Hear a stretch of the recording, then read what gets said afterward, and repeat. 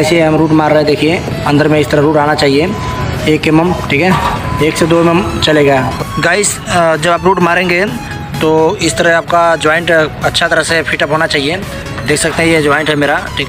ये जॉइंट है, इसके अंदर फिलर जा रहा है। तो इस तरह आपका जॉइंट होना चाहिए, और मैं उस साइड का रूट मार चुका हूँ राइट साइड का। और जब भी आप मारेंगे तो फोर एम एम यानी फोर फोर मिली का राड से आप गैप लेंगे और एज का बेबल बराबर होना चाहिए और एज पे ध्यान रख लीजिएगा और टाका आपका इस तरह लगना चाहिए क्लिट पे, क्लिट इसे बोलते हैं। तो टाका क्लिट पर रहना चाहिए ताकि गैप सटे ना। ओके गाइस तो ये सीएस का जॉइंट है सेवन ज़ीरो एस टू का पिलर है। तो इसे मैं मार रहा हूँ रूट ओनली रूट के बारे में आपको बताऊँगा।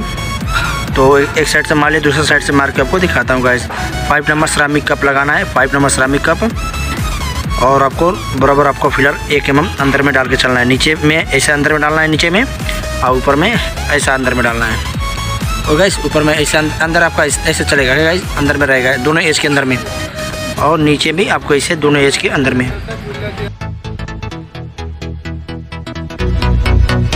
गाइस जब हम रूट मार लेते हैं तो टाका कटिंग करते हैं तो टाका कटिंग करने के टाइम पे आप जो रूट मार के ला के छोड़ते हैं, उसको भी आपको पॉइंट को हल्का हल्का ग्रैंडिंग कर लेना है। जैसे मैंने किया है, देखिए ग्रैंडिंग किया है, और इस तरह ऊपर में आपको जहाँ मेल्टिंग करना है, वहाँ पर भी आपको ग्रैंडिंग ऐसा कर लेना है। ओके गाइस हाँ मेल्टिंग करना है आपको, इस तरह पॉइंट बना लेना है ठीक है?